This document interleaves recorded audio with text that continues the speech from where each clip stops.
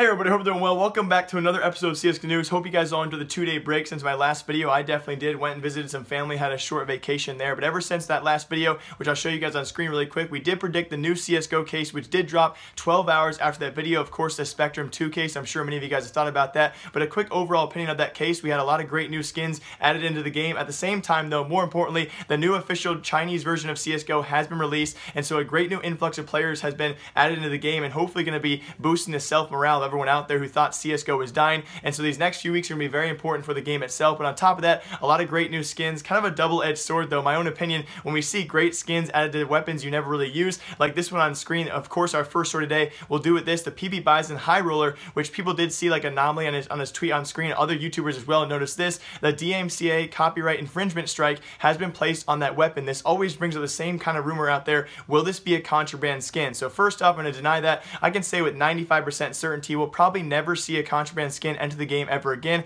and here are my reasons why. First of which, we had the original art creator of this has made several other skins on the market. He's actually updated on his post. I'll link it down below for all of you guys as well if you want to check it out. He's actually updated us just yesterday. It is his original artwork. He's kind of re-encouraging us. He's made other artworks out there, and apparently the one who actually placed a strike on this was a complete troll, so he should win that case sometime soon, and this skin should go back to the market the same way it was with probably no changes as well. After the M4A4 Howl went contraband, we've had other skins out there that did actually get DMCA strikes as well. The M4A4 Griffin was one of them. People forget about that. They made that minor change the Eagle and other skins out there. McSkillet talked about this, and the price remained stagnant. It never went, it never really spiked up too high as well, and that skin was never made contraband. So in the future as well, it really would kind of defeat the purpose to have this golden Howl. If it was one contraband skin, it would kind of defeat the rarity of it if all of a sudden Valve decided to make all these skins contraband, and so that's why they're probably trying to fight against it. They only really want one gold skin out there. Of course, in the future, it's definitely possible to add maybe one skin in there, but it's very unlikely for a skin to ever go contraband based off this way again. It's kind of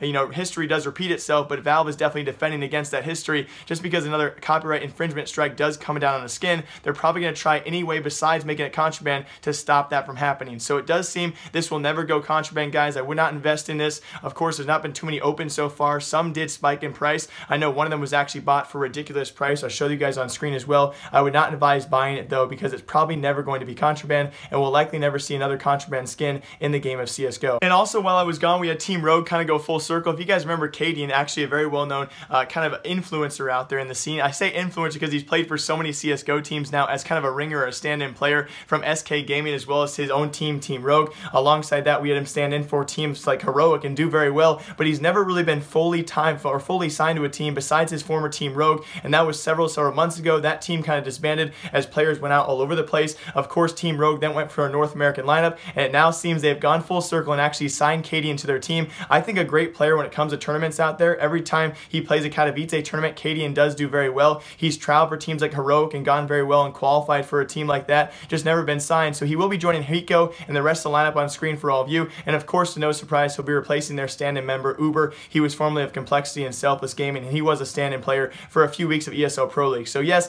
Cadian is now back on Team Rogue, this time though a North American lineup. So kind of a weird change of scenery for him, I'm sure. But on top of that, we also had Soar Gaming, one of those organizations out there, the first COD organization to actually sign a CSGO team many, many months ago. I want to say probably over a year ago as well. Then Red Reserve, also coming from COD, they signed a CSGO team as well. That CSGO team with Maikelele has since disbanded, but now Soar announced their brand new Mountain Dew League roster on screen for all of you. So congrats to them. It's kind of really cool to see all these Call of Duty organizations kind of branching out as well. We've seen this in the past few months. All these esports organizations really dipping their toes into CSGO. Of course, lower tier teams here, but best of luck to the new Soar Gaming roster. And again, this next season of Mountain Dew League, it's going to be an ESEA Premier season of Mountain Dew League. It's now officially under that title. We have a lot of great teams in there, as well as Steel alongside that Days. Every one of those players has a team in Mountain Dew League. It's going to make for a great watch and a great viewing experience besides ESL Pro League. A lot of lower tier teams, but a lot of great players in that league this year. And with not very much news out there for this episode, I'll be back in a couple days with a more full episode out there with some scams, other inside information. I do want to show you guys how Chinese CSGO is looking. First off, Chinese CSGO as well as on Chinese Steam level, what they're looking like with the overlays. I'll show you guys some screenshots on screen thanks to NIP, other sources out there. As of right now, Perfect World doing a great job. We have yet to have any numbers out there in terms of players or new members.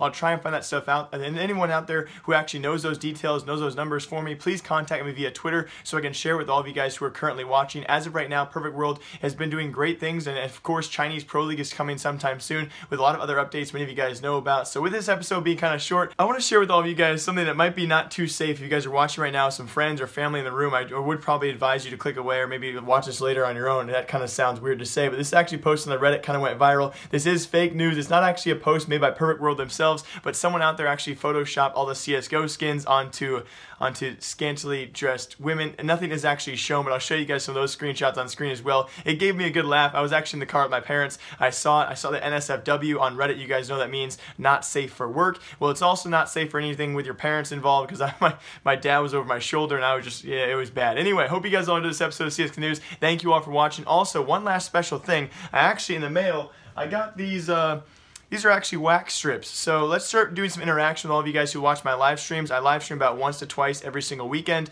Uh, this past weekend I was on vacation, but these are wax strips. So if this video breaks 800 likes, I will wax my thighs on live stream. And yeah, maybe that maybe you guys don't even want me to do that. But anyway, hope you guys all enjoy. Thank you all for watching. If you guys do want me to wax my thighs, which is probably a really stupid request, make sure to leave a like as well as leave a comment down below. Hope you guys all enjoyed. I'll see you guys on a couple days. My name is Jake. Remember, I like you, and I'll see you guys all next time.